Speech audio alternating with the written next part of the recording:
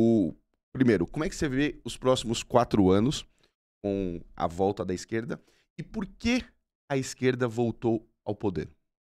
Eu acho que a esquerda voltou ao poder porque o Bolsonaro foi para a esquerda o que a Dilma foi para a direita. A Dilma, ela foi um desastre para a esquerda, fez um péssimo governo e fez com que a direita se organizasse e começasse a ascender. E foi esse período de ascensão da direita que o Bolsonaro pegou e que o Bolsonaro surfou.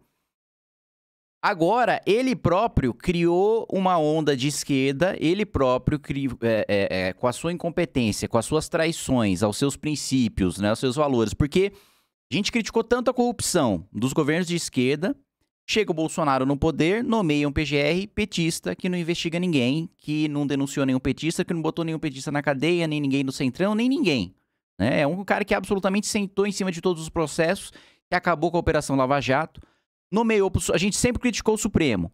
Aí nomeia para o Supremo gente que já foi assessor do Toffoli, gente que já foi assessor do Gilmar Mendes para primeiro para o seu ministério, depois para o Supremo Tribunal Federal, dizendo que é contra o sistema e etc e tal. Então dizia que se fosse para governar com o Centrão, preferia não governar, preferia não ser candidato. Foi lá e tá governando, governou com o Centrão, deu ministério para o Centrão, dizia que não ia dar primeiro escalão para o Centrão, deu primeiro escalão, teve ministro é, é, do Centrão, Ciro Nogueira, réu na Operação Lava Jato. A gente falou tanto de Lava Jato, a gente falou tanto de Petrolão, né? E um dos principais operadores do Petrolão virou o principal ministro do governo Bolsonaro.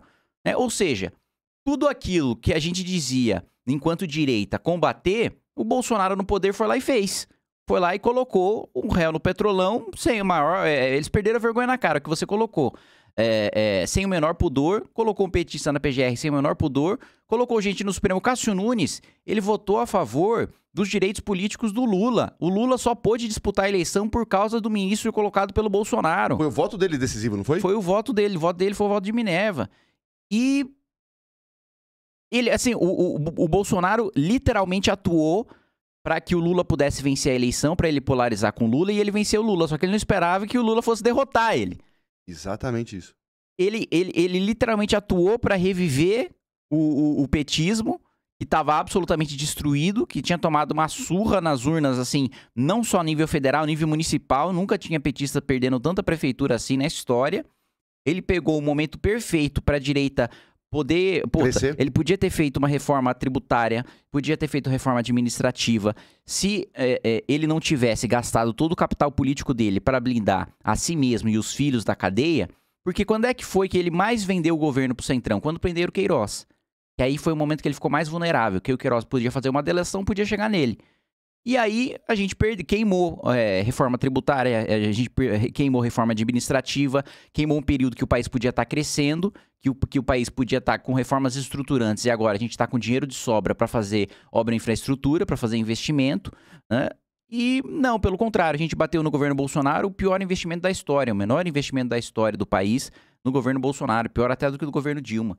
Né? E, e, e, um governo que foi tão ruim que a população aceitou, mesmo sabendo que o Lula é ladrão, porque o próprio eleitor do Lula sabe que o Lula é ladrão. Né? Só que ele falou, pô, tá, eu prefiro ainda um ladrão. Que é, é, é, o, governo, o governo Bolsonaro foi tão ruim, foi tão ruim, mas tão ruim, que eu prefiro que o ladrão volte. Foi esse, foi esse o nível do absurdo.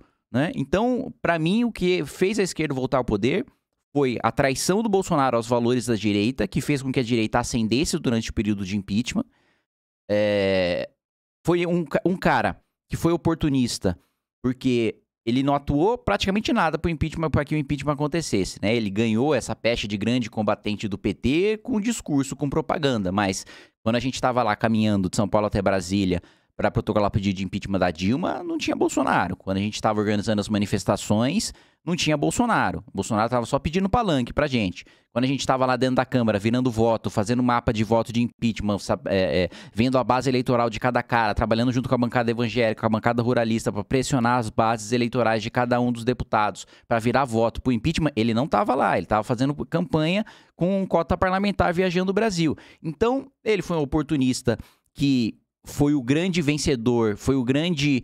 É, é, é foi o cara que conseguiu as glórias de um processo histórico que ele não liderou, que ele foi, na verdade, ele acabou se tornando protagonista em algo que ele não trabalhou para ser, em algo que ele não trabalhou para acontecer. venceu a presidência da República e, uma vez na presidência da República, destruiu a direita que estava em ascensão e que tinha tudo para ficar no poder. Pelo menos, na minha avaliação, assim, uns 16 anos depois do governo Dilma, era só fazer um governo. é, não precisava fazer um bom governo, era só fazer um governo medíocre. Né? Depois do governo Dilma, qualquer coisa seria razoável, me- seria melhor do que aquilo que ela fez. Foi a pior crise da história do Brasil, pior ainda do que a crise do Covid, e ainda assim ele conseguiu sair com uma popularidade menor.